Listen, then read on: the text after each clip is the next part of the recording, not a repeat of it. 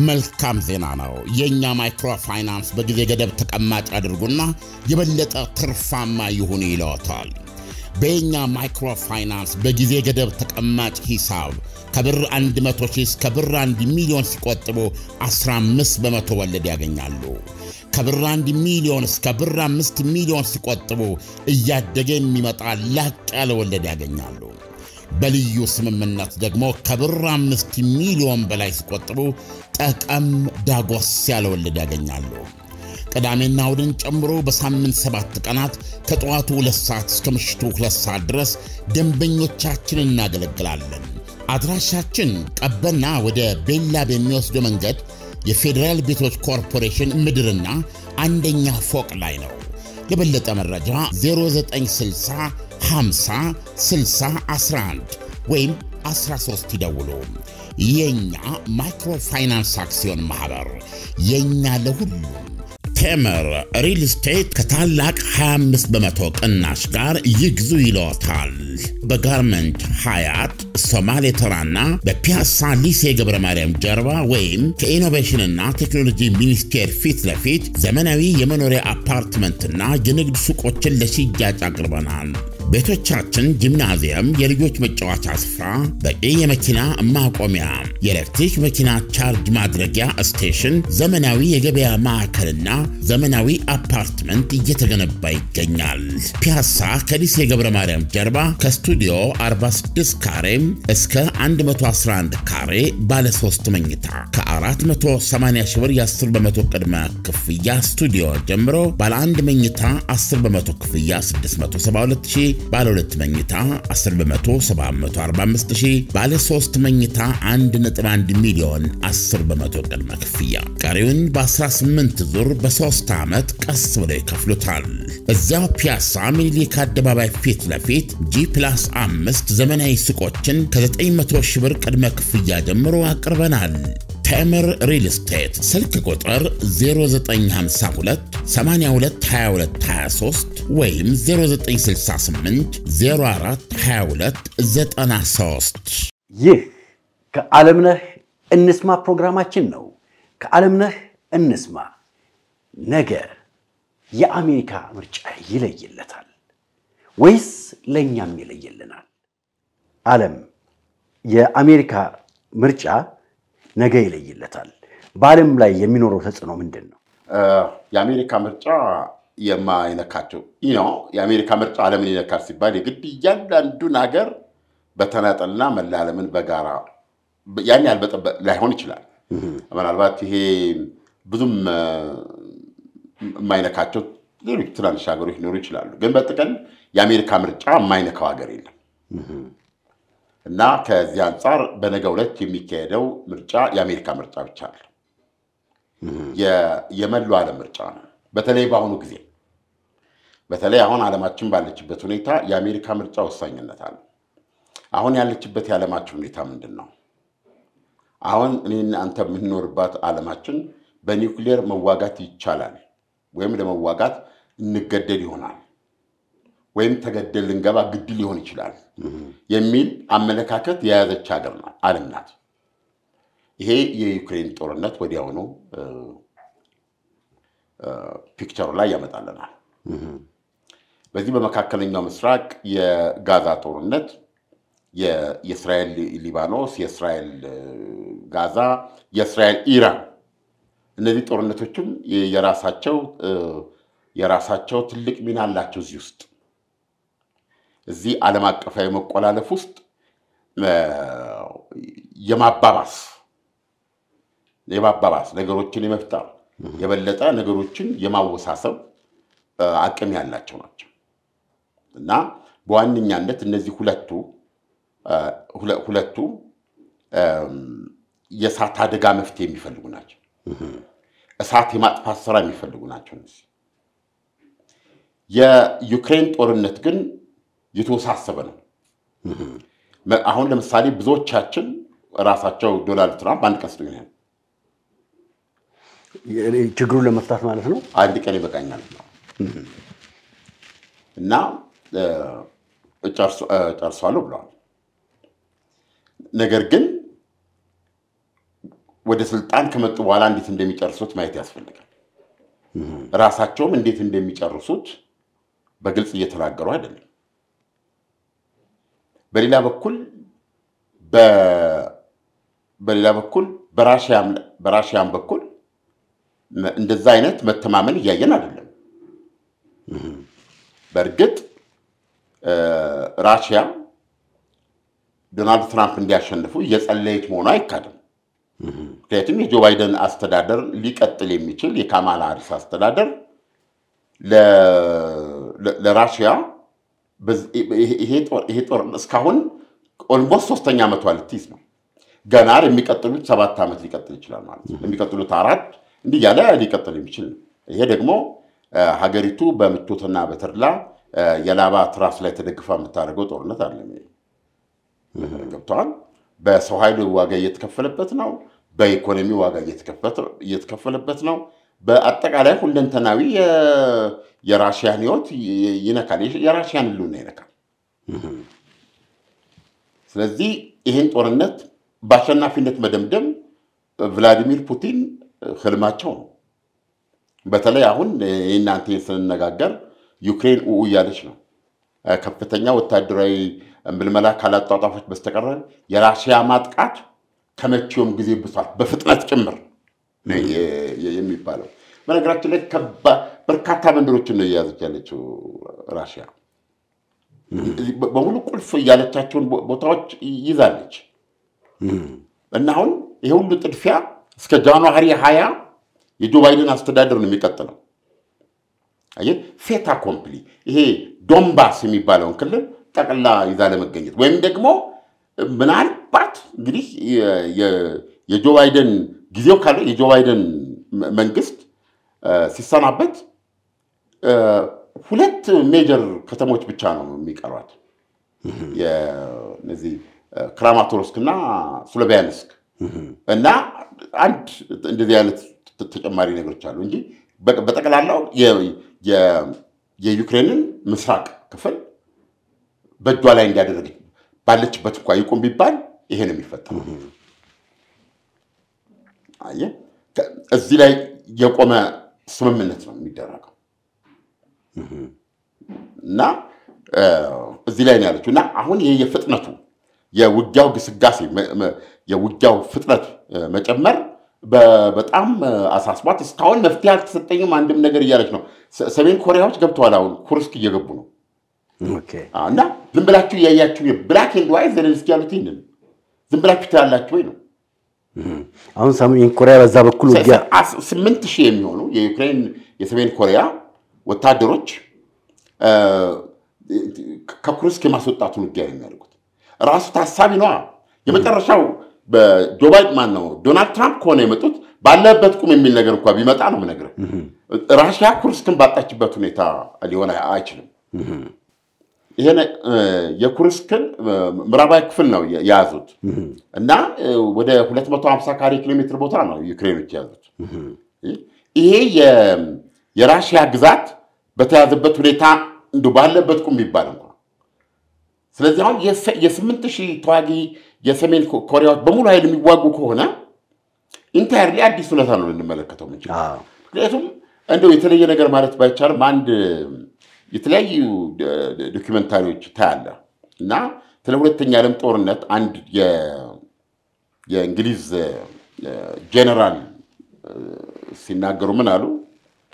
ስለ ጃፓን ወታደር ነበር የሚጠይቃቸው። በሁለተኛው ዓለም ጦርነት ስለ ጃፓን ወታደሮች ስለ ጃፓን ወታደሮች መንፈሳዊ፣ አካላዊ ብቃትና ዝግጁነት በተመለከታቸው እና እንዴት ይገልጿቸዋል ስል እኔ ከጠየቀኝ ወታደር የሚባል ስታንዳርድ መኖር ካለበት ያ ስታንዳርድ መሆን ያለበት ጃፓን ወታደር ነው ያሉት። ትእዛዝ ሲቀበሉ ጥያቄ የላቸው። ከዚህ ቦታ ተነስተህ እዚህ ግባ ብትላቸው ጥያቄ የላቸው። እንደ ፈረስ እንደ አጋሰስ መሄድ ይችላሉ። የተባሉበት ቦታ የተባሉበት ሰርጥ ውስጥ ይገኛሉ። እስከ መጨረሻዋ ትንፋሽ ይዋጋሉ። አያመነቱም።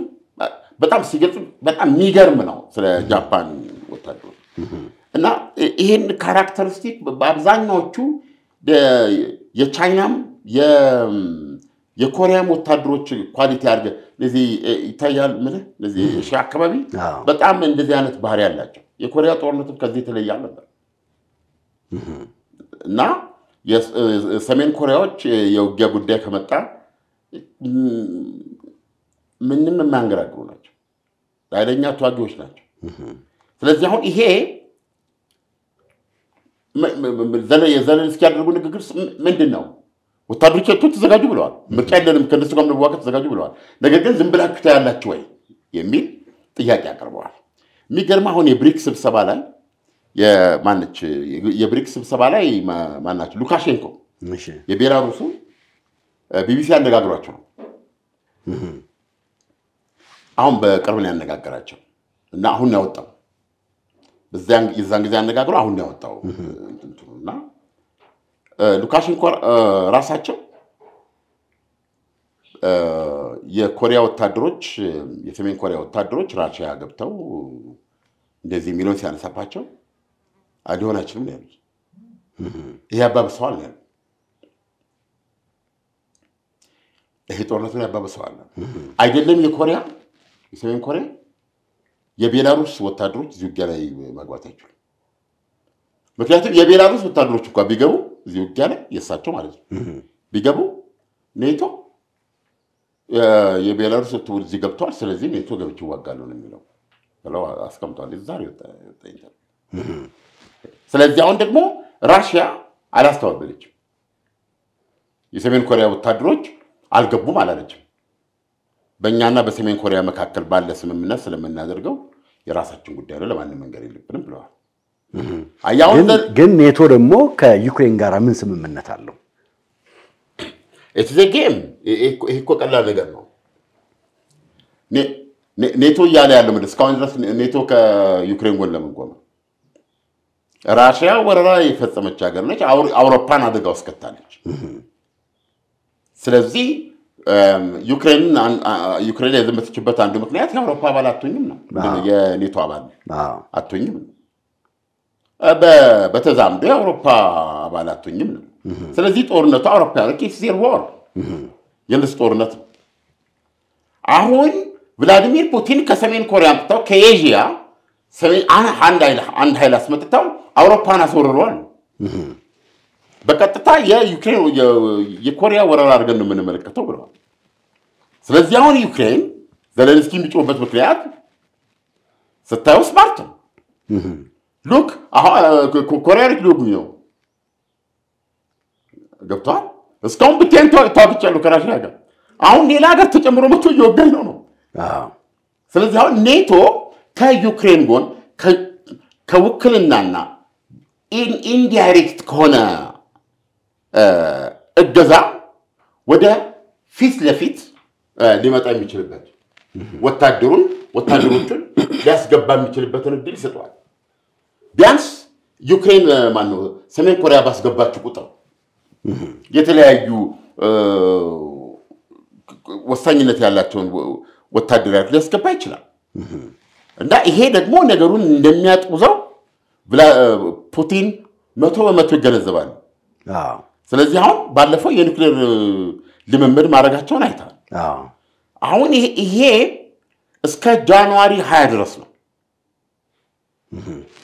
ከጃንዋሪ 20 በኋላስ ምንድን ነው? ከጃንዋሪ 20 በኋላ ዶናልድ ትራምፕ ይመጣሉ በሚል ነው። ዶናልድ ትራምፕ ካልመጡ ግን አንደኛ አሜሪካ ሰላማዊ ስልጣን ሽግግር ይኖራታል ወይ? አሜሪካ የዓለምን ቀውስ ልትፈታም ሆነ ልታባብስ እጇ ይፈታል ወይ ነው። ይሄ ጥያቄ መጠየቅ አለበት። ነገ የሚካሄደው የአሜሪካ ምርጫ ውጤት ማንን ወደ ዋይት ሀውስ ያስገባል? በአሜሪካ የምርጫ ታሪክ ከአንድ ስልጣን ዘመን በኋላ ከአንድ ስልጣን ዘመን ስንብት በኋላ ተመልሶ ወደ ዋይት ሀውስ በመግባት በታሪክ ሁለተኛው ሰው ሊሆኑ የሚችሉትን ዶናልድ ትራምፕን ወይስ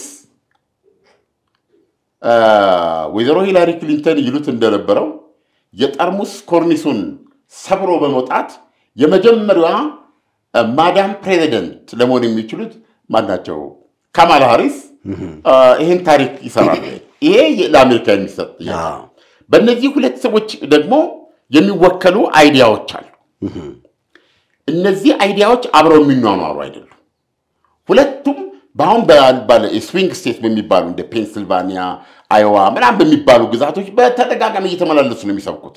በእውነት ነው የምነግርህ የአሜሪካ ምርጫ የዓለም ምርጫ ነው። በእርግጥም ፊዚካሊ ትችላለህ ወይ ነው ራሱ ጥያቄው። የአሜሪካን ምርጫ ማድረግ ትችላለህ ወይ? ጤንነቱ አለ ወይ? አካላዊ ብቃቱ አለ ወይ? መንፈሳዊ ጥንካሬው አለ ወይ? ገብቶሃል? የአዞ ቆዳ ደርባል ወይ? ራቁትህን ነው የምትቆመው። ከምን አንጻር ነው አሁን ይህን ያልከው?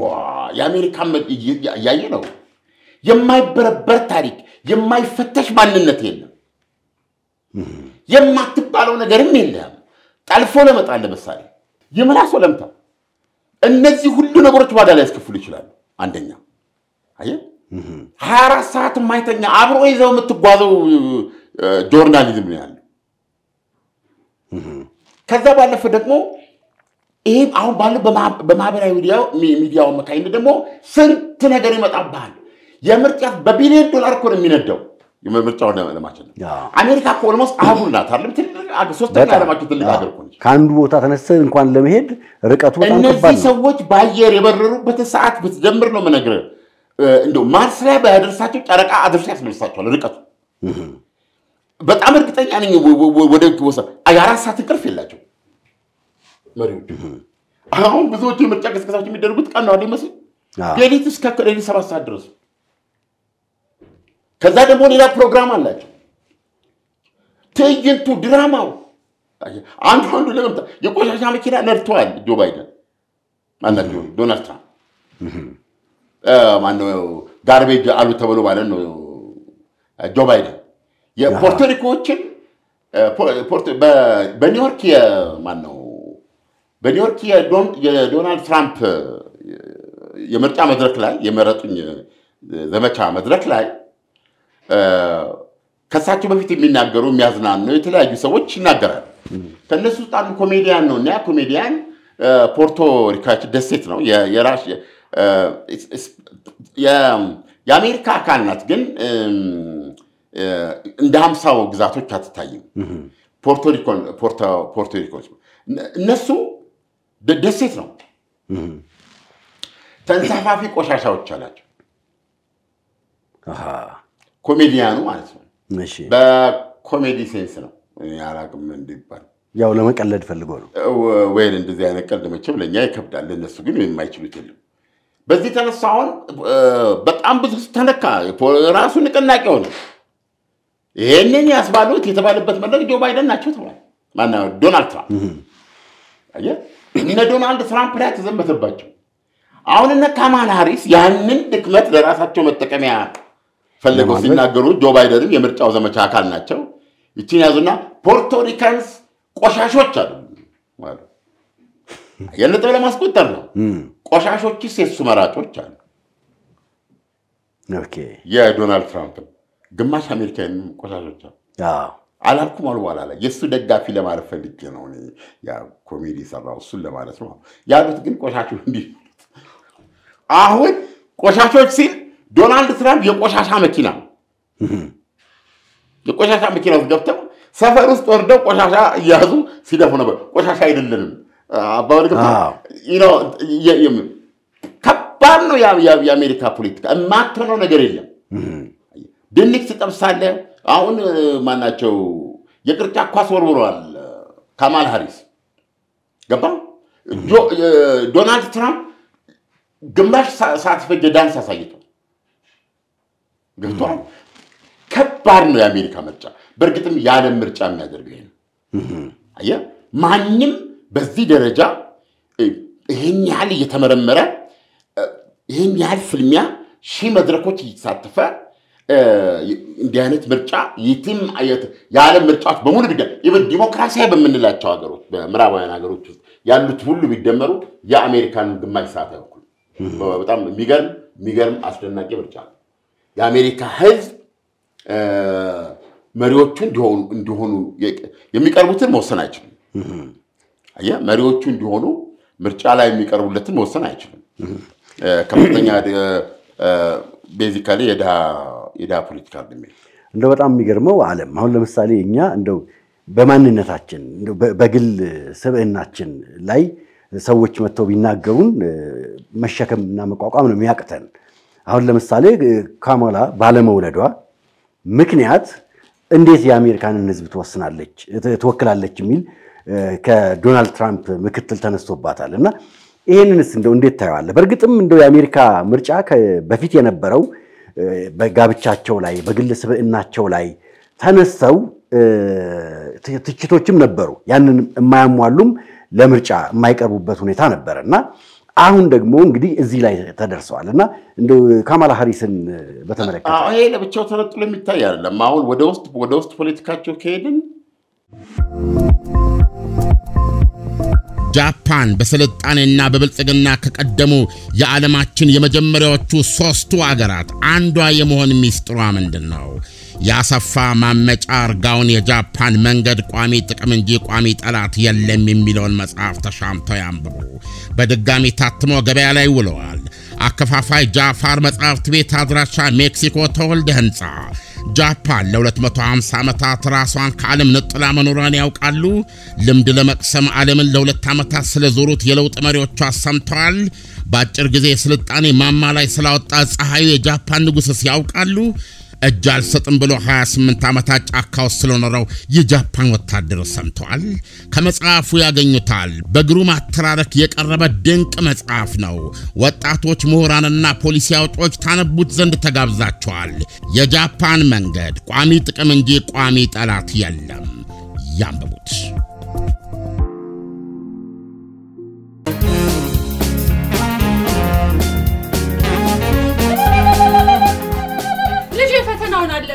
አለፈ።? እንዴት? ዘመድ አለው። ይኸው የማይቀየር የማይለወጥ ከዘመድም ዘመድ Extreme book series ላለፉት 12 ዓመታት ተማሪዎችን ለፈተና ብቻ ሳይሆን ለስኬት ያበቃ መጽሐፍ Extreme Book Series ዘንድሮም በራሱ የህትመት ቴክኖሎጂ ታትሟል። በጥልቅና በዝርዝር ነጥቦች የተሞሉ በማሳያ ምሳሌዎች የተዋቀሩና የተዘጋጁ በመሆናቸው በሁሉም የትምህርት ደረጃ ለትጉሃን ተማሪዎች አስተማማኝ መሠረት ናቸው። Extreme Book Mathematics፣ Physics፣ Chemistry፣ Biology፣ History፣ Geography፣ Economics፣ English፣ General Science ና Citizenship መጽሐፍቶችን ለተማሪዎች አቅርበናል። በሁሉም የመጽሐፍት መደብሮች የልጆቹን ታላቅነት የሚሻ ወላጅ ዕውቀትና ጥበብን ያወርሳል። Extreme Book Series ለምሳሌ ሁለቱም ማሳረጊያቸውን ሲናገሩ እሱ ቢሸነፍ ቀጥሎ የሚመጣው ለአሜሪካ የጨለማ ዘመን አድርጎ ነው እየተናገረው። ካማላ እኔ ብሸነፍ ዶናልድ ትራምፕ መጣ ማለት የምናውቃት አሜሪካ አይደለችም። ዶናልድ ትራምፕ እኔ ብሸነፍ ካማላ ሃሪስ ገባች ማለት over። አገራችን ሶስተኛዋ ዓለም ሆነች የሚል ነው። እና ሁለቱም ያላቸው ራሱ ጨለምተኛነት ነው አንዱ በሌላው ላይ። እና በዚህ ውስጥ አሁን ወደ እነዚህ ብዙም ዝርዝር ውስጥ ወደማንገባባቸው የእምነት የሀገርነት ጥያቄ የእምነት የሀገር ባለቤትነት ጥያቄ የእምነት የባህል ፍልሚያም ነው የሁለቱ ምርጫ የጆ ባይደን እና ማነው ካማላ። የዶናልድ ትራምፕ እና የካማላ ስለዚህ ነው ለምሳሌ woke woke የሚሉት ወይም ደግሞ ይሄ የ identity politics identity politics በወንድና በሴት አድርጎ የሴቶች መብት በሚል በነጭና በጥቁር አድርጎ የቀለም መብት ገብተዋል። basically እነሱ እንደሚያቀርቡት በዶናልድ ትራምፕ ካምፕ የሚቀርበው አሜሪካዊ ዜግነት የምትለው አሰች የለም። ስራም ስትሰጥ እድል ስትከፍት ሰዎች ይሄ woke በሚባለው እሳቤ ወይም በብሶት ላይ የተመረኮዘ እን- እንትን ነው። ለምሳሌ አንድ ነጭ ስራው ላይ ተቀጥሮ ሌላ ጥቁር መቀጠር አለበት። እንደገና ደግሞ አካታች የምንለው ማለት ነው። ደግሞ በወሲባዊ ጉዳይ ይመጣል። ከተቃራኒ ጾታ ጋር የመደበኛው እኛ የምናውቀው አለ። ከዛ ደግሞ ጾታውን የለወጠ አለ። ከዛ ደግሞ ግብረ ሰዶማዊ አለ። እንዲህ እያለ እና በማንነት ልክ እኛ አሁን ማንነት ላይ የተመረኮዛል። በዚህ መንገድ ይሄ የሊበራሎች አካሄድ ያመጣብን አሁን መጨረሻ ላይ የማይወልዱ የማይከብዱ ራስ ወዳዶች ራስ ወዳዶች ናቸው። ሌዲስ ይሏቸዋል። አሁን ለምሳሌ ካማላ ሃሪስን ስትመለከት ይሄ ቫንስ የሚባለው ምክትሉ ነው ያለው ብዙ ብዙ የሚጠቅሳቸው አሉ። ለምሳሌ አሁን እኚህ ሴት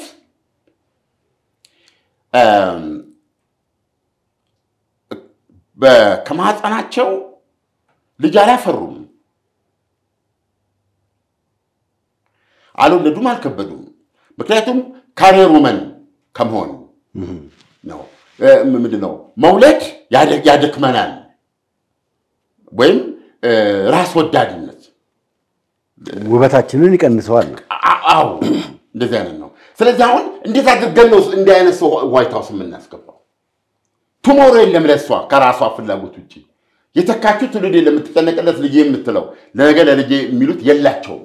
እነዚህ cat ladies የሚባሉ ሰውየው በእርግጥ አስተዋ እኔ ያልኩት በዚህ ለማለት ነው። አሜሪካ ውስጥ ያሉ እንድትልና እንዲህ ነው። ነገር ግን ውስጡ ስታየው በአጠቃላይ የ culture ይሄ woke አሁን ቅድም ያልኩህ የጥቁሮች መብት፣ የቢጫው መብት፣ የቡኒው መብት እም፣ የ- ምንድን ነው የተዋልዶ የስነ ተዋልዶ? የስነ ተዋልዶ የተወሳሰበ ነው። ይሄ ከጾታ ጀምሮ ማለት ነው። እና ወንድ ነው ሴት ነው ወንድም ሴትም ነው። ማት ይሄ ከነፃነት ጋር ከግለሰብ ነፃነት ጋር ተያይዘው የሚ- የሚሉ ናቸው። እና ሁሉም ሰው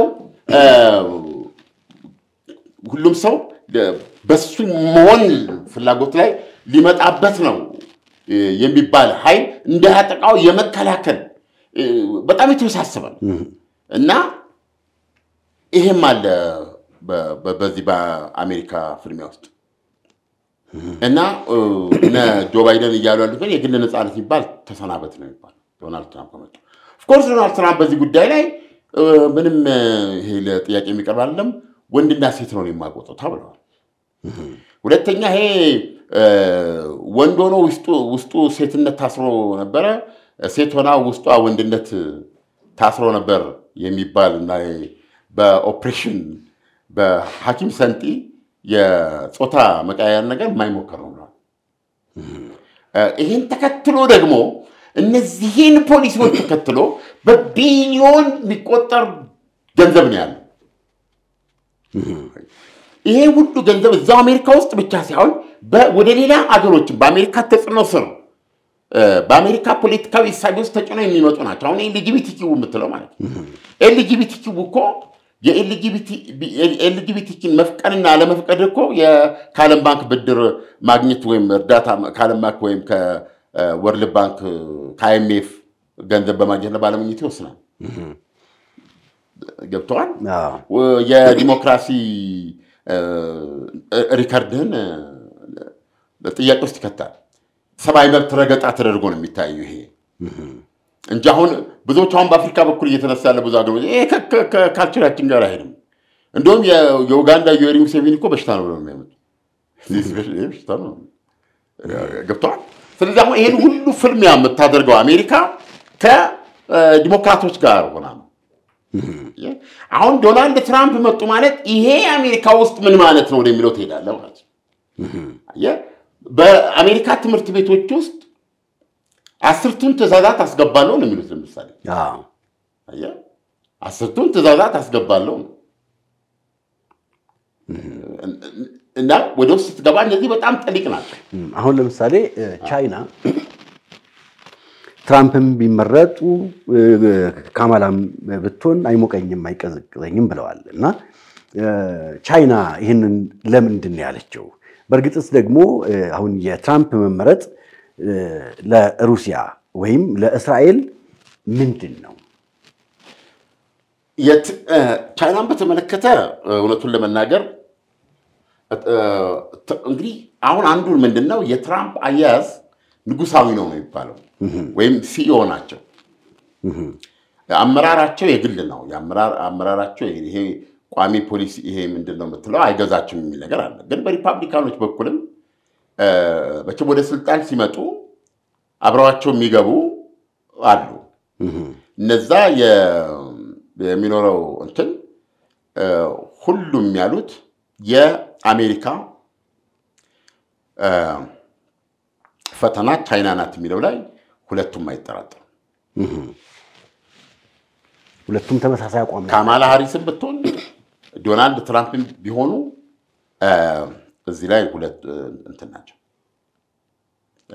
ቻይናን በተመለከተ ቻይናን ቻይናን በተመለከተ አለ ለምሳሌ ያክል በዲሞክራቲክ በኩል ስትመለከት ቻይናን መጠርቀቅ ነው ይህ መጀመሪያው ማለት ይሄ ኢኮኖሚያዊ እና ወታደራዊ እድገቷ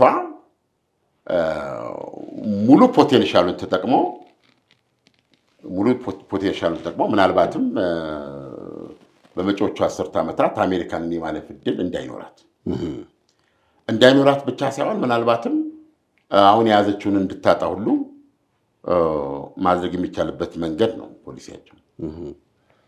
ስለዚህ ይህ ግልጽ ነው። ይሄም በግልጽ ማን ነው ታይዋን ታይዋንን ብትነኪ አሜሪካ ትዋጋለች የሚል ይህኔ ጆ ባይደን ናቸው ያሉት። ከእሳቸው በፊት ይሄን ያለ አልነበረም። ስለዚህ ራሽያን የሚያዩት ራሽያን የሚያዩት ራሽያን የሚያዩት በአጋጣሚ ዓለምን መገዳደር የሚችል የኒውክሌር ክምችት ያላት ሀገር ሆኗ ብቻ ነው እንጂ የአሜሪካ ተወዳዳሪ አድርጎ አያዩት በ- በአሜሪካ ሉዓላዊነት ላይ በአሜሪካ ልዕለ ኃያልነት ላይ እንዲሁ መንገድ የመዝጋት ነገር ሊኖራት ይችላል እንጂ ቻይና ግን ነች። እዚህ ላይ ሁለቱም ተመሳሳይ ነው ያላቸው። ነገር ግን ብዙ ጊዜ የጆ ባይደን አካሄድ የቻይናን የቻይና ኢኮኖሚ ላይ ያነጣጠረ ነው። የእሳቸው አካሄድ የአሜሪካንን ኢኮኖሚ የኢኮኖሚ ውጊያ ነው በዶናልድ ትራምፕ በኩል ዞሮ ዞሮ በድምር ውጤቱ ቻይና አሜሪካንን አልፋ ልትሄድ አይገባም። በዚህ ላይ ሁለቱም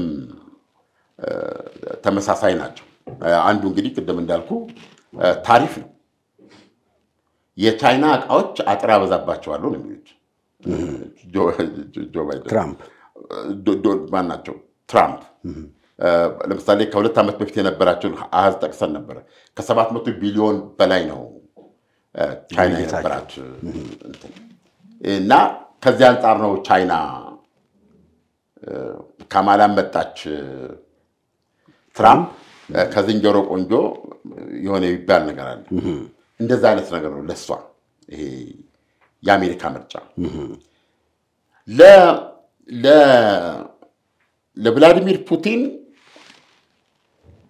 ለቭላዲሚር ፑቲን እንግዲህ እንደምናስበው የዶናልድ ትራምፕ ጦርነቱን ሊያቆመው ይችላል በያዙት መሬት ላይ የሚል ያለው እና ከዚህ አንጻር ተጠቃሚ ያደርጋቸዋል ነው። ነገር ግን ደግሞ መሳሳት የሌለብን ዩክሬን ውስጥ የሚካሄደው ውጊያ የኢኮኖሚ ውጊያ ነው ተብሎም ይታመናል። ከፍተኛ የከፍተኛ የማዕድን ሀብት ያላት በተለይም አሁን ላለው የ- ምንድነው? ይሄ? የኤሌክትሪክ መኪና ለምትለው ለዚህ ለባትሪው። እንደዚህ እንደዚህ ለመሳሰሉ ለኤሮስፔስ እንደዚህ ለመሳሰሉ ቴክኖሎጂ ግብዓት የሆኑ እጅግ ቁልፍ የሆኑ በትሪሊየን ትሪሊዮኖች ብዙ ትሪሊዮን ዶላር ዋጋ ያላቸው የተረጋገጡ የክምችት ያላት ሀገር ናት ዩክሬን።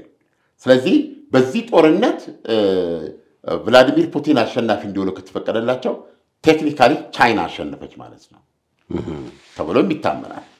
አየህ፣ አሁን ዶናልድ ትራምፕ በእንዲህ አይነት ጉዳይ ላይ ደግሞ serious ናቸው። በዚህ መልኩ በዚህ መልኩ ሲቀርብ አሜሪካ ልታጣው የምትችለው እና በእሷ ላይ በዛ ጦርነት የተነሳ ቻይና ልትወስድ የምትችለው ብልጫ መኖሩ በነገ ስልጣን ላይ ሲወጡ በቀና የሚያዩት አይደለም። ስለዚህ ለዚህ ነው እንዴት እንደሚፈቱት ማየት አለብን የምንለው አንድ ቸር ወሬ ለዓለምነቱ ምንድን ነው? እንደምንም ይፍቱት። የዩክሬኑ ጦርነት መቆም አለበት። አዎ፣ የዩክሬኑ ጦርነት ካልቆመ በተለይ ከዚህ በኋላ በዶናልድ አሁን ለምሳሌ የዶናልድ ትራምፕ አቋም አውቀውም ይሁን ሳያውቁት ወይም የሚያባብሱት ነገር ተገኝተው ወደ ዲሞክራቶች ወደ ነበሩበት ቦታ የሚሄድ ከሆነ ከኔቶ ጋር ያለውን ቁርኝት አጥብቆ በሆነ መንገድ ራሽያ ቢያንስ ቢያንስ በወሳኝ መልኩ አሸናፊ የማትሆንበት መንገድ ይፈ ወደሚል ነገር ቢገባ ራሽያ አማራጭ የለም። ይህን ጦርነት ከላዩ ላይ ገለል ለማድረግ ጦርነቱን ከማባባስ ውጭ እንትን አይኖራትም። ምክንያቱም እነሱ ባላቸው ኢኮኖሚ ምክንያት አሁን ሁሉም እንደ አዲስ የጦር ግምጃ ቤቶቻቸውን ከፍተው በማምረት ላይ ነው ያሉት። ብሔራዊ ውትድርና ሁሉ እ፣ ማስተዋወቅ ደረጃ በደረጃ የሚቀጥሉት ነው እና ጠቅላላ አውሮፓ አሜሪካንን መጨበጥ ከቻለ ኔቶ አሜሪካንን ካጣ ግን ዶናልድ ትራምፕ ለኔቶ ህልውና ጸር ናቸው። ያን አሁን ትልቁ ጨዋታ እንጂ ዶናልድ ትራምፕ የሚቀይሩበት ሁኔታ ካለ really ነገሩ ወደ ከፋ ደረጃ ነው የሚሄደው። ምክንያቱም ራሽያ አትችልም ይህን ውጊያ እነሱ ባበሩ ለሌላ አራት ዓመት አሁን ባለው መልኩ አሁን ባለው እንትን ገብቷል ሊቀጥል ይነው አባባል ገባ። አዎ። ስለዚህ ይሄ ደግሞ መሆኑ ለዶናልድ ትራምፕ ፖሊሲም አብሮም አይሄድም። አ- አሜሪካ ደሟን whatever ሀብቷን ሌላ ሀገር ላይ ሄዳ የምታፈስበት መንገድ isolationist ናቸው። ስለዚህ በዚህም ሆነ በዚያ ተደምሮ ተቀንሶ ዶናልድ ትራምፕ ለራሽያ ለገባችበት ለዩክሬን ጦርነት ያግዛታል ተብሎ ነው የሚታመነው። ግን ቻይናን በተመለከተ ቻይናን በተመለከተ ዶናልድ ትራምፕ ያላቸውን ፖሊሲ አይተናል። አዘሴም ታይም አዘሴም ታይም ራሽያ ከቻይና የተነጠለች ሀገር ግን አትሆንም eventually አዎ፣ ምክንያቱም የዩክሬን ጦርነት የተጫረው ሁለቱ ሀገሮች limitless ዳርቻ የሌለው ስምምነት አዎ ብለው ከተስማሙ በኋላ ነው። አየህ ራሽያ ይህንን ጦርነት ብቻዋን አልተዋጋችውም ያለ ቻይና። ስለዚህ ቻይና ብቻዋን የምትዋጋው ጦርነት አይኖርም። ዞሮ ዞሮ በሂደት የምናየው ነው የዶናልድ ትራምፕ አሸናፊ ሆኖ መምጣት ለራሽያ ምን ያህል ይበጃታል የሚለውን እኛ ሁላችንም እንደ ዓለም የዩክሬን ጦርነትን የኔቶና የራሽያ ጦርነት ሆኖ ዓለም የሚተላለቅበት ሁኔታ እንዳያመጣ ከማድረግ አኳያ በጸጋ የምንቀበለው ቢሆንም በዘላቂነት ሞስኮና ዋሽንግተን፣ ሞስኮና ቤጂንግ በምን ያህል ሁኔታ እንደሚያው የሚታይ ነው የሚሆነው። ምክንያቱም እንደውም እስከምን ድረስ ይደርሳሉ ራሷ ራሽያ ዩክሬን ላይ የከፈተችውን ጦርነት የውክልና ጦርነት አድርገው ነው የሚቆጥሩት። to that extent ወርዳ ራሽያ የቻይና የውክልና ጦርነት ነው እያደረገች ያለችው ብለው በስትራቴጂ ደረጃ ይህንን ድረስ ይነጋገራሉ እና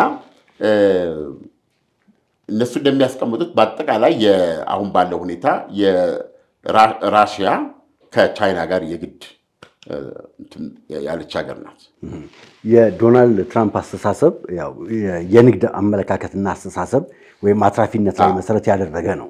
ስለዚህ ያ ከሆነ ደግሞ ዩክሬን እስካሁን ባለው ተጨባጭ ሁኔታ ከአሜሪካ እጅግ በጣም ከፍተኛ የሆነ ገንዘብ እየወሰደች ነው ያለችው እና ይሄስ ይቀጥላል ወይ በዶናልድ ትራምፕ? ሊቀጥል አይችልም። ዶናልድ ትራምፕ እዚህ ላይ የሚወስዱት እርምጃ በአንድ ቀን አቆመዋል በሚሉት አሁን እሳቸው የሚታወቁት ምንድን ነው? አዋውሎ መቋጨት ነው የእሳቸው ፖሊሲ። ውል እንትን ነው በአንድ አንድ ስልክ ነው እሰጠዋለሁ ያሉት ለማነው ለዘለንስኪ። ጨርስ በቃ ይሄ ነገር መቆም አለበት። ያ ጦርነት ያለ አሜሪካ ሊካሄድ አይችልም። ስለዚህ አሜሪካ ከዛ ጦርነት ላይ እጇን ካነ- ካነሳች I think የዘለንስኪ ዘመን ዶናልድ ትራምፕ ወደ ዋይት ሀውስ ሲመጡ የዘለንስኪ ዘመን አብቅቷል ማለት ይቻላል። እን- እንዳልኩ በተለይ ገንዘብ ላይ ነው ለ- ለልማ ከ- ከአሜሪካ ለድሃ ሀገሮች እንኳ ምንድን ነው የምግብ ለስራ እርዳታ ነው የምትለው ሬር ነው እየሆነ የሚሄደው። ዶናልድ ትራምፕ ገንዘቡን የሚከተሉ ሰው ናቸው። ከአሜሪካ የሚወጣ ገንዘብን የአሜሪካ መዘረፍ አድርገው የሚያዩ ናቸው እና ለዚህ ነው እኮ አይሶሌሽኒስት ነው የሚሆኑት። ምን አገባት አሜሪካ አይነት ነገር ነው። በምንም ነገር ላይ አሜሪካ እኮ በጦርነት ብቻ አይደለም መረዳት ያለብን አዎ፣ የከፋ አደጋ ሲደርስ ረሃብን ቢመጣ ምንም ቢመጣ መጀመሪያ የምትደርሰው መቼም ዞሮ አሜሪካ ነች? እንደዛ አይነት አሜሪካ አታገኝም።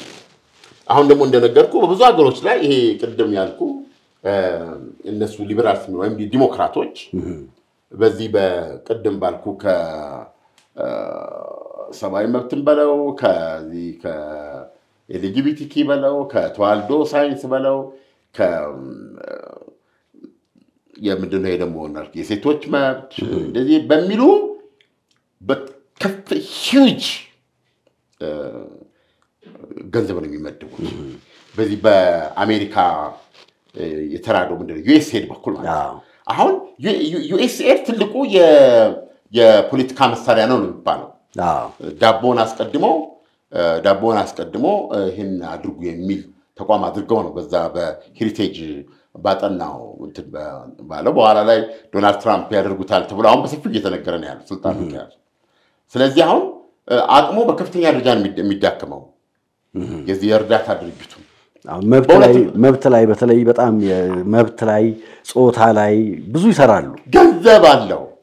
በብዙ ሀገሮች በብዙ ታዳጊ ሀገሮች ላይ ትልልቆቹ ሀብታሞች እኮ ይሄን ተከትለው በእነዚህ ውስጡ ስራ አስኪያጅ ምናምን ድርጅቶች የሚሆኑ ናቸው እንትን የሚሉት እስከ- መንግስታት ድረስ ትልቁ የገንዘብ ምንጫቸው ነው። እ፣ ይሄን አድርግ ትባላል፣ ያን ታደርጋለህ፣ ገንዘብ ይገባል ማለት ነው። አሁን በዶናልድ ትራምፕ ጊዜ ይሆናል ተወምታ ይሄን ይቆርጡታል። አዎ፣ ይህ ሁሉ ዶላር አሜሪካ ካዝና የሚቀር ይሆናል። እና ራሱ የአሜሪካ ዩኤስኤድ የምትለው ንጹህ በሆነ የሰብአዊነት ነፍስ በማዳን ረገድ እንኳ የሚኖረው በጀት ዶናልድ ትራምፕ ለሰው ልጆች በመጨነቅ የአሜሪካንን ገንዘብ ብዙ የሚለቁ ሰው አይደሉም። ሲታይ እና የማን ዩኤስአይድ ዛሬ ዛሬ ዞን አክሎ የሚታይ ድርጅት ከሆነ የፖለቲካ ሚና ከመጫወት አኳያ በዚህም የተነሳ ግዙፍ በጀት የያዘ ከመሆኑ አኳያ በዶናልድ ትራምፕ ጊዜ የቆላ ፍየል ነው የሚመስለው። በጣም የገረጣ ከብዙ ቦታዎች ላይ የሚወጣ የተወሰኑ ቦታዎች እንግዲህ የዶናልድ ትራምፕ መምጣት በእርግጥም የአሜሪካ ምርጫ የዓለም ምርጫ ነው ወደሚለው የሚያስኬድ ይመስለኛል። ምክንያቱም UN ላይ በፊት እንደምታስታውሰው እያንዳንዱ ሀገር የተወሰነ ገንዘብ ከሚያዋጣ ካልሆነ በስተቀረ እወጣበታለሁ ብለው ነበር እና እንደው ከ UN አንጻር ወይም ከኔቶ አንጻርስ እንዴት ታየዋለህ? የዓለም ጤና ድርጅትን እኮ ገንዘብ አቁመውበት እንዴ? አዎ፣ የተባበሩት መንግስታት ድርጅት ውስጥ እኮ ስትመለከት በጀቱ አ፣ በ percent ማስቀመጥ ይቻላል። ግዙፉ በጀት ያ ከአሜሪካ የሚሰጠው ነው። አዎ፣ እንደዛ አይነት ነገሮች አይቀጥሉም። የሰላም አስከባሪ ኃይሎች ስታሰማራ ከፍተኛ በጀት ነው የሚጠይቀው። ያ በጀት በዋነኛነት ትልቁ እንትን የምታደርገው አሜሪካ ናት። ሰው እንዲህ እያልክ በተባበሩት መንግስታት ድርጅትን በለው በተባበሩት መንግስታት የተለያዩ ኦርጋኖች እንደ ዓለም ጤና ድርጅት ያሉ በእነዚህ ሁሉ የአሜሪካ ሚና ገንዘብ ከመስጠት አኳያ እየተመናመነ ነው የሚመጣው እና ዶናልድ ትራምፕ አሜሪካንን ግሬት አደርጋለሁ ሲሉ በሳቸው እምነት ምዝበራ ነው። idealist አይደሉም ዶናልድ ትራምፕ ዶናልድ ትራምፕ idealist አይደሉም። የርዕዮተ ዓለም ሰው አይደሉም። ስለዚህም አሜሪካ በዓለም ላይ አሁን ለምሳሌ የምዕራቡ በምዕራቡ ዓለም ምዕራቡ ዓለም የሚገዳደር ባለብዙ ዋልታ እንትን መጣር ላይ እያልን ያለን አሁን? ፊታቸውን ወደ አሜሪካ ያዞሩ ናቸው እና deal ነው የሚያደርጉት። ከማንኛውም ሀገር ጋር ምንም ግንኙነት ሲያደርጉ ገንዘብ ይኖረዋል ነው። ይሄ ለምሳሌ በምሳሌ ላሳይ ይችላል። ለምሳሌ ሳውዲ አረቢያ ምስል አሜሪካ የሳውዲ አረቢያ ጠባቂ ነው። አሁን ምርጫ አለ ሳውዲ አረቢያ። ሳውዲ አረቢያ ከቻይና ጋር ጥሩ ግንኙነት አለ። አሁን የመካከለኛው ምስራቅ እንደተባበሩት አረብ ኤሚሬት እነ ሳውዲ ከራሽያም ጋር ጥሩ ግንኙነት አላቸው እና በእነሱ በኩል ደግሞ የምታየው አሁን ከብዙ ኃይሎች ጋር የመስራት ማለት ነው። even በብሪክስ ስብሰባዎች ላይ እያየናቸው ግን አንድ ጥያቄ አለ። ዶናልድ ትራምፕ ጠብቃለሁ ነው የሚሉት። እሳቸው ወደ ስልጣን እንደመጡና ታስታውሳለህ? እሳቸው ሳውዲ አረቢያ ሲሄዱ ዶናልድ ትራምፕ ሳውዲ አረቢያ ምን አደባባይ ያላወጣችው የክብር ቃል ምን ያላሳየችው ባህል አለ? ጆ ባይደን የተደረገላቸው አቀባበልና ዶናልድ ትራምፕ የተደረገላቸው አቀባበል አይገናኝም። የማ ይበልጣል? የዶናልድ ትራምፕ ነው። ንጉሳውያኑ ናቸው ወጡት ሲቀበሏቸው። ስለዚህ ይሄ Abrahams Accord የሚባለው ለምሳሌ በእስራኤልና በአረብ ሀገሮች መካከል ጤናማ ግንኙነት ለመመስረት መመስረት ለምሳሌ አሁን እስራኤል ከተባበሩት አረብ ኤሚሬት፣ ከሞሮኮ፣ ከሱዳን፣ ከባህሬን ጋር መስረታለች። ከሳውዲ አረቢያ ጋር ልታደርግ ስትል October ሰባት ሐማስ ያንን ጥቃት ስላደረስ ይቃል ይህንን አድርጓል። ዶናልድ ትራምፕ ተመልሰው መጡ ማለት Abraham Accord ይቀጥላል። ከሳውዲ አረቢያ ጋር እኮ የመጀመሪያውን ድርድር የተደረጉት እሳቸው ናቸው። መጀመሪያ ጉብኝታቸው ላይ እኮ ቁጥሩ መያዝ ነበረብኝ በመቶ ቢሊዮኖች የሚቆጠር ነው የጦር መሳሪያ ለመግዛት የተፈራረሙት ከአሜሪካ። ስለዚህ ስምምነቱ ምንድን ነው? እንደ ኔቶ አይነት ጥበቃ ነው የፈለገችው ሳውዲ አረቢያ። እንደ ኔቶ አይነት ስለ ሳውዲ አረቢያ ተነካች ማለት አሜሪካ ተነካች ማለት የአሜሪካ የብረት ደሴቶች፣ ቦምብ አዝናቢ መጋዘኖች፣ ሁሉ ነገር ላይ ላይ ይሰፍርብሃል ማለት ነው። ሳውዲ አረቢያን ስትነካ ገብቶሃል? እንዲህ አይነት እንትን ነው። ይሄ የሚቀጥል ነው። ይሄ- ይሄንን ነገር ግን አሁን ግንኙነቱ ምንድን ነው? ትጠቅማለች። ሳውዲ አረቢያ በደንብ አድርጋ ገንዘብ ታስላለች። ለማን? ለአሜሪካ አየህ? even ታይዋን እ፣ በጆ ባይደን እንዋጋላታለን ያሉት። ዶናልድ ትራምፕ ለታይዋን ሊዋጉ ይችላል። ግን መክፈል አለባት። በቃ የነጋዴ አመለካከትና ግን ዓለምን በንግድ ሀሳብ ማሰብ ይቻላል። አሁን እሳቸው ከሚያዩት ነው። ለምሳሌ ደቡብ ኮሪያ ልች አይደለም የአሜሪካ ጥበቃ ያስፈልጋታል። አዎ፣ የአሜሪካንን ጥበቃ ብታነሳ ምናልባት እንደዚህ ኪሞች አንድ ቀን አያሳድሯት ይሆናል ደቡብ ኮሪያ ወይም ደግሞ ጦርነትን የማትፈልጉ ከሆነ ጦርነትን ነው የሚያመጡባት። ምክንያቱም እነዚህ የኪም ልጆች ናቸው። ኮሪያን ከማዋድ ወደኋላ አይሉ ሁኔታው ከፈቀደላቸው ቀን ጋደል- ጋደል ካለ ወደ ሴኡል ከመሄድ የማይመለሱ ናቸው። ስለዚህ አሁን የአሜሪካ የኒውክሌር ዋስትና ያስፈልጋታል ደቡብ ኮሪያ። በዚህ የተነሳ እሷ ያላት ይሄን ያደርጋሉ። ትራምፕ ይሄን ያደርጋሉ። የሚያደርጉት ግን የምዕራቡን በህግ ላይ የተመሰረተ የበላይነት ለማጥናት ከሚል አይመስለኝም። ገብቶሃል? ፒውርሊ ደቡብ ኮሪያ ትከፍላለች፣ ደቡብ ኮሪያ ትከፍላለች፣ ጃፓን ትከፍላለች። አዎ፣ ግንኙነት ይህ ነው እንደዚህ ላይሆን ይችላል። ነገር ግን ዋጋ ያስከፍላል። ያንን የአሜሪካንን እንትን ሊያደርጉ ይችላል። ይሄ ማን የሚጠራጠሩ አይደለም። ስለዚህ አሁን እሳቸው ጋር አሜሪካንን ታላቅ እናደርግ ነው። አሁን ይህን አሸንፈው ሁለተኛውን ስልጣን ከያዙ ማለት ነው ማንም ሰው ይህ ስልጣናቸው በአራት ዓመት እንደሚያበቃ ዋስትና መስጠት አይችልም።? በአራት ዓመት ያበቃል ቢባል እንኳ የሚሰጉበት ሌላ ምርጫ የለም። አሁን ነው አሻራቸውን መተው የሚችሉት። የመጀመሪያው አራት ዓመት እኮ መከራ እኮ ነው ኢሳያስ። basically እኮ የአንድ ፕሬዚደንት ስልጣን ዘመን ስምንት ነው። ሁለቴ ይመረጣል። it's ነው በውስጥ ለውስጥ ይታወቃል። ግን አንዳንዶች fail ያደርጋሉ። fail ካደረጉት ውስጥ ናቸው እሳቸው እንደ እንደ ጂሚ ካርተር እንደ ራሳቸው እንደ ትልቁ ቡሽ በመጀመሪያ የስልጣን ዘመናቸው የከሸፉ ናቸው፣ የወጡ ናቸው ከቤተ መንግስት። ግን የመጀመሪያው አራት ዓመትን ስትሰራ ምንድን የሚባለው? ያንንም ያንንም ብዙ ሳታስከፋ ተጠንቅቀ ነው የምትጨርሰው። ሁለተኛውን አራት ዓመት ታገኛለህ። የለማ ከዛ በኋላ ሌላ ምርጫ የለም። አዎ። ይሄኛው አራት ምርጫ ትግል አለው። በእርግጥ የአሜሪካ ዳኞች አሉ፣ ኮንግረስ አለ፣ ሴኔት አለ። በእነዚህ ሁሉ ህገ ውስጥ መንግስቱም አለ። አዎ፣ አለ። በእነዚህ ሁሉ ውስጥ ታግለ ግን አሻራን የምታሳርፍበት እውነተኛ የአሜሪካ ፕሬዚደንት የምትሆንበት ሁለተኛው ስለዚህ ለዶናልድ ትራምፕ ቢያንስ ሁለተኛ የስልጣን ዘመናቸው ነው የሚሆኑት እና እሳቸው ደግሞ የብዙ ነገር መጀመሪያ መሆን የሚፈልጉ ሰው ናቸው። እኔ እንደዛ ነው የምረዳቸው። እሳቸው even ከእሳቸው ጋር የከፋ ጠላት መሆን መጥፎ ነው ብዬ ነው የማስበው። በእውነት ነው የምነግርህ። ሁኔታዎች አስገድደው ከነ ራሽያ ጋር አይሁን እንጂ ነው የምነግርህ። ሁኔታዎች አስገድደው ልክ ቢያደርጓቸው ትሩማን ብቻ ብቸኛ ታሪክ የያዙበት የኒውክሌር ቦምብ የተጠቀመው የምድራችን ብቸኛ መሪ እሳቸው ናቸው።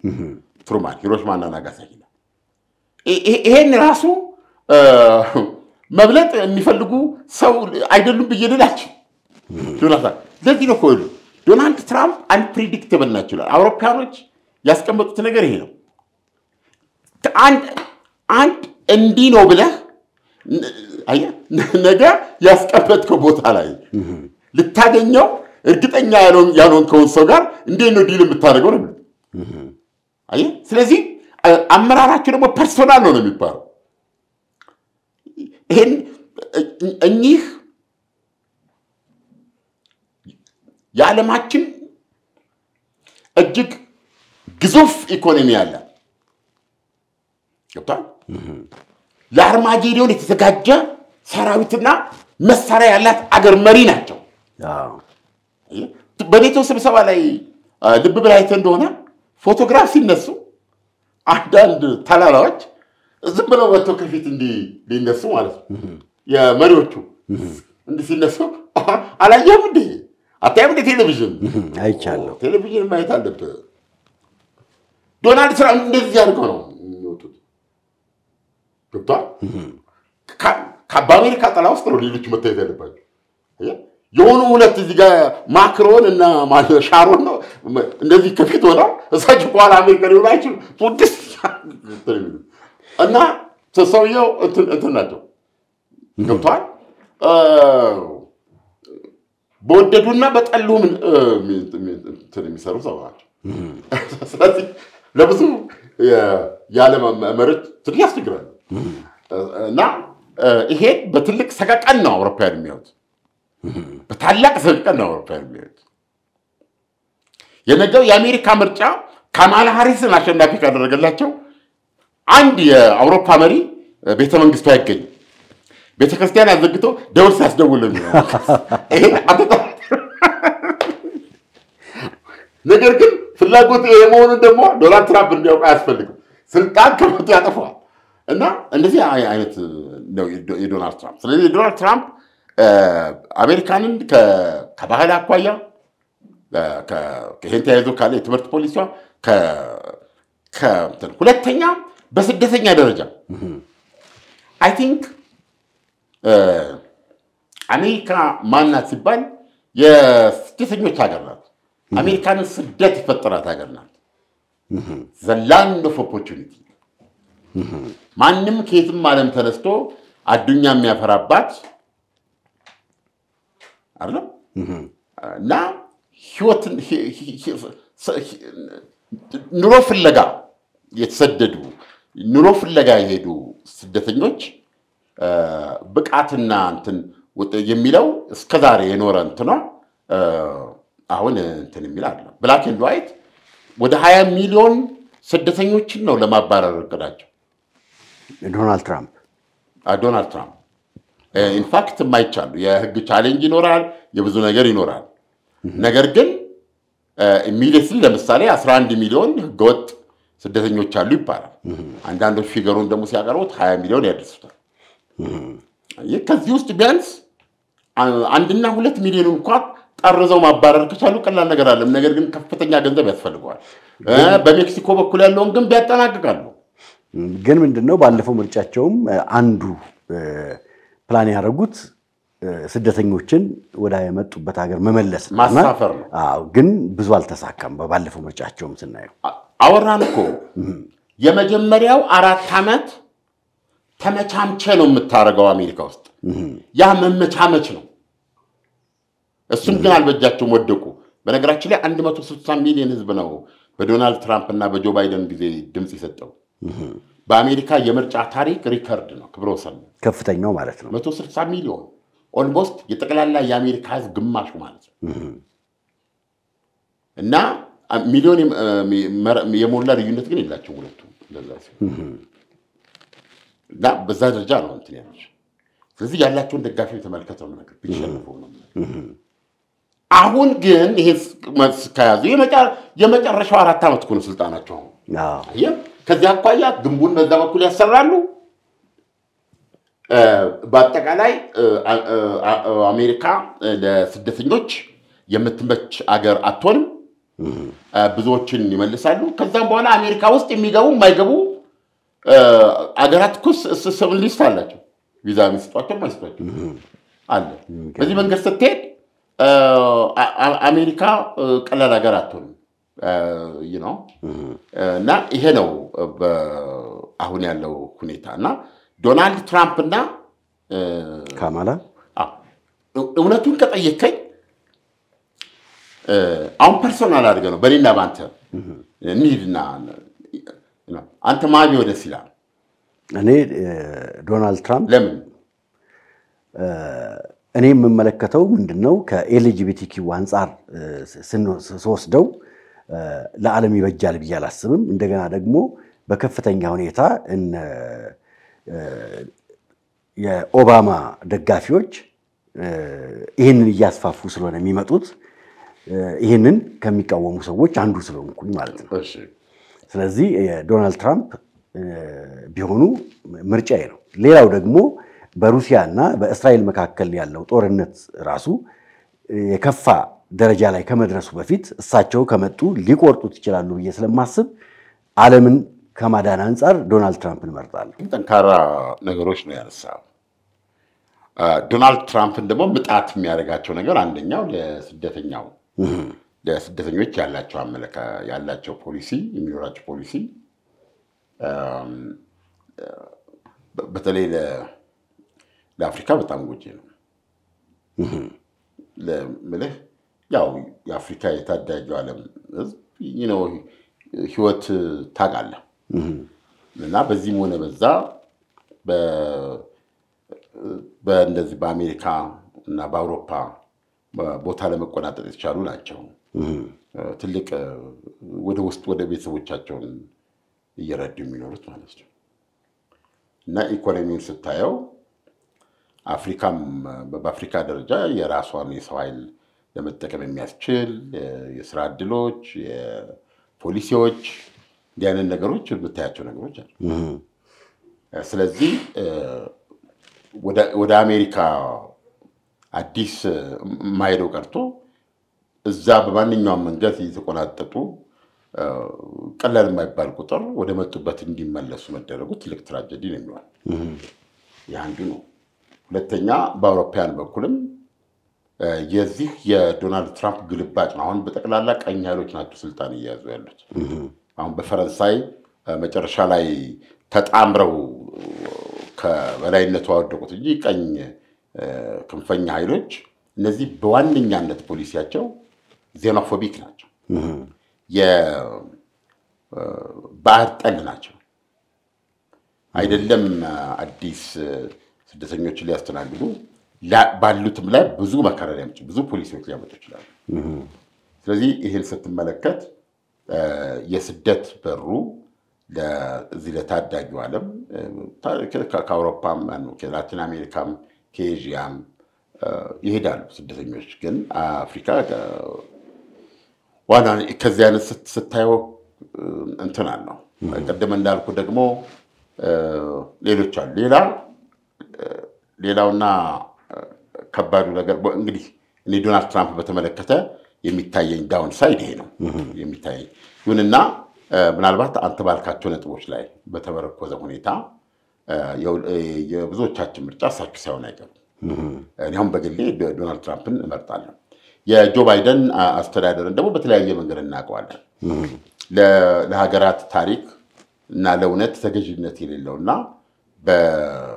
በራሱ በመረጣቸው ራሱ በማንኛውም መንገድ አብሮ ከሚሰራቸው ኃይሎች ጋር ኃይሎች ጋር ሆኖ ብዙ ብዙ ጉልበተኛም ነው።